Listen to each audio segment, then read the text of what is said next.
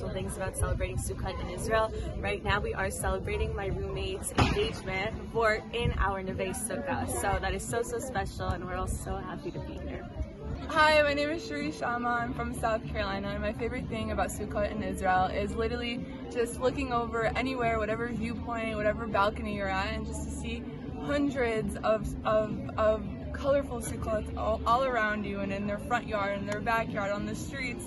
And it's literally so spiritual and so it makes you feel so connected and like you're doing it all together.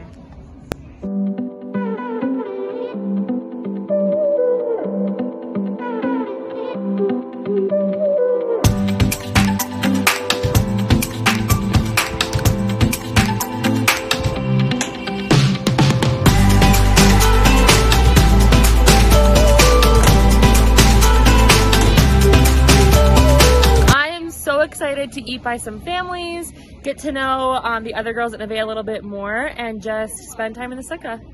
Hi, my name is Mona. I'm from Cincinnati, Ohio, and this is actually my first time here in Israel for Sukkot. And I think the most beautiful thing is, like last year when we were davening during Rosh Hashanah and Yom Kippur, we all say next year in Yerushalayim, and like, you know, it, it never really hits you that it could happen. So I think the most beautiful thing is the fact that we're actually here in Yerushalayim with like all these sukkahs. So it's beautiful. Bye.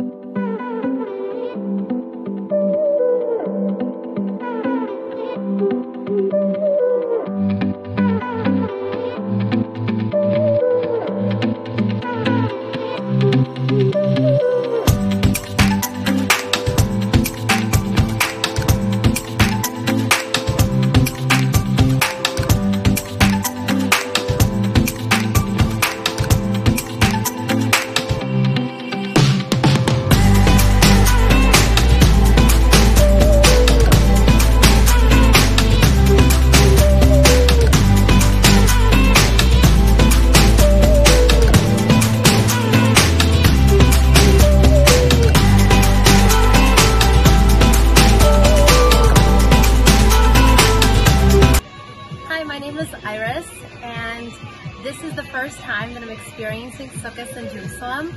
And so far, it's been amazing. Like, during the first few Yom Tov days, I remember after a meal, I, I figured I'm gonna walk around, walk off the food. I walked around down Hakablan, which leads off the Neve campus, and I was literally counting all the sukkahs. I was going down Hakablan, and I didn't even reach the end, and it was already over, I think over 70 sukkahs, and it was so beautiful and magical. And there's nowhere in the world where you can see this besides Israel. And in a place like Harnof with so many families keeping the Torah and making their sukkahs, it's it's like the perfect place to be. It's such an amazing place to be. Um, and all the different elevations of sukkahs. And you look, go to a balcony and you look over and you see, you start like counting the sukkahs and looking at like you know, they're like hidden sukkahs and sukkahs out of different materials. So it's great.